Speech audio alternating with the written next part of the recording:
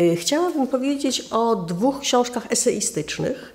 Y, jedna z nich y, dotyczy korespondencji sztuk, muzyki, malarstwa, architektury, literatury, Ocalić od zapomnienia Marka Dyżewskiego. Wbrew tytułowi to nie są po prostu wspomnienia, tylko przepięknie wydane eseje dotyczące głównie kultury muzycznej, mm, ale są też rzeczy regionalistyczne dotyczące Wrocławia. Mm, I co tu jest najważniejsze? To jest pokazanie mm, mistrzowskiego wykonawstwa, pokazanie obcowania ze sztuką wysoką y, w kontekście y, bardzo bezpośrednio, głęboko, y, osobiście przeżywanej styczności z arcydziełami mistrzów starożytnej Grecji. Więc tutaj widać ciągłość w skali, w skali tysiącleci. Jeśli bym miała jakiś przykład przytoczyć y, z Platona. Potęga dobra schroniła się w naturze piękna i to piękno rzeczywiście jest tutaj uderzające, bo to jest arcydzieło sztuki edytorskiej. Y, natomiast y, druga rzecz nie jest już tak okazała, y, ale marzę o tym, żeby to jak najszerzej docierało do ludzi. Mianowicie to jest jakby wszystko, co najlepsze z esejów zamieszczanych w dwumiesięczniku Topos. Opracował to, przygotował Krzysztof Kuczkowski. Bardzo jasne teksty, zrozumiałe. Jacek Sali, dziwne pogranicze między dobrem i złem. Właściwie ustawia nam całą sprawę. Jak myślimy o etyce, jak myślimy o życiu, y, o estetyce również. Y, jeśli estetyka, jeśli słowo, to oczywiście święty Augustyn i retoryka. Ja to ciągle pamiętam, jak Andrzej Kijowski napisał kolego z Kartaginy. Zwrócił się do tego retora jako dzisiejszy literat. Mamy tutaj bardzo aktualny esej Mirosława Dzienia mm, o strachu i zarazie świata. Mm, y, też rzeczy pisane z większego dystansu, przez ludzi urodzonych w latach 40., 50. Mm, w ogóle tak sobie policzyłam te daty urodzenia. To się zaczyna w 34, kończy w 77 na Przemysławie Dakowiczu, najmłodszym y, z eseistów, y, ale mającym za sobą też pewien sznyt filologii klasycznej, y, potrafiącym patrzeć na długie trwanie w kulturze.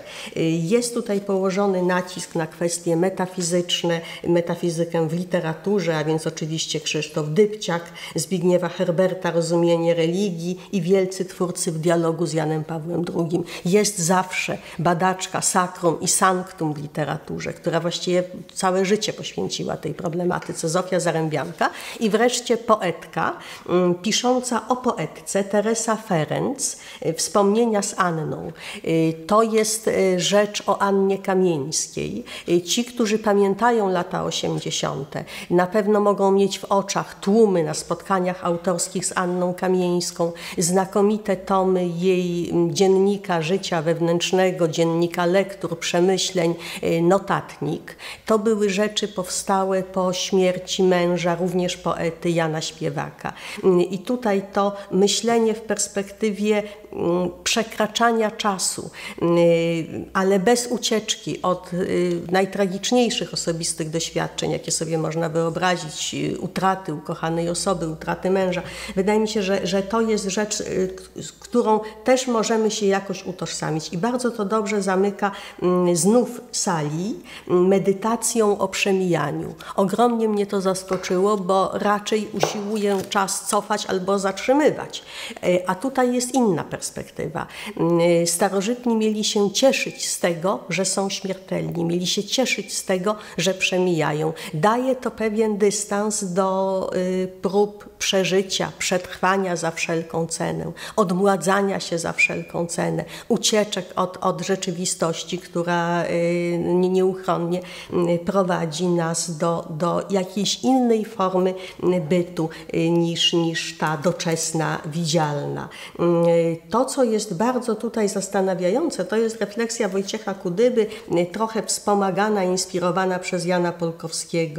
Y, y, zastanowienie się nad tym, czy jeżeli y, ogromnie pragniemy trwać dłużej, y, nie możemy uwierzyć w to, że przemijamy i się starzejemy, czy nie jest to jednak jakiś sygnał, że może naprawdę w innym sensie jesteśmy nieśmiertelni. To szukanie nieśmiertelności może się dokonywać, chociażby jak u Horacego, dodam od siebie, przez poezję. Jan Czy poezja nie powinna być szczególnie wyczulona na anonimowe, niewysłowione przesłanie strawione przez zgiełk śmierci i chaos kłamstwa? Czy nie powinna użyczać swego głosu, a umniejszać swoje pragnienia? Zapominać o sobie choćby na mgnienie, przenikać los ludzi wyblakłych, których życie uwięzło w niejasnej frazie znikającego cienia.